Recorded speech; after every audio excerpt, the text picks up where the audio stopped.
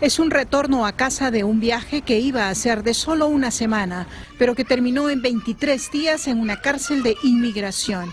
Alfredo Flores pensó que nunca volvería a ver a su esposa y a sus tres hijos cuando fue detenido mientras viajaba de Nueva York a Seattle, en la costa oeste del país.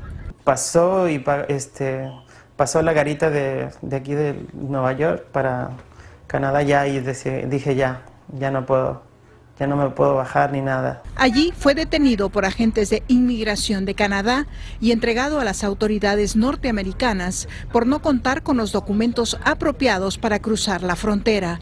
Casado desde hace cinco años con una ciudadana norteamericana, no habían hecho el trámite para la residencia por matrimonio todavía. Una por cuestión de dinero. Honestamente, las dos o tres veces que yo consulté me pedían mucho dinero que en el momento no teníamos.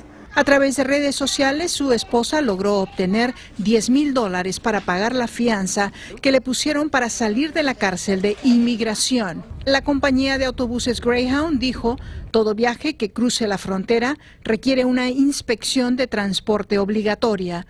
A los clientes se les exige tener un pasaporte o documentos adecuados que los autorice a ingresar al país, al igual que a cualquier vehículo que cruce fronteras. Catalina Cruz ha sido una Dreamer y ahora candidata a la Asamblea Estatal. Les consiguió ayuda legal para defender su caso. A Wendy no le hubiera alcanzado el dinero para pagar la fianza de 10 mil y un abogado de 10 mil. Entonces necesitamos que la gente que está en puestos legislativos entiendan que hay que dar dinero para este tipo de programa. Flores no tiene una orden de deportación, pero sus problemas legales no han terminado. Un juez revisará su caso el próximo martes y determinará cuáles serán los siguientes pasos a tomar. En Queens, Nueva York, Blanca Rosa Vilches, Univision.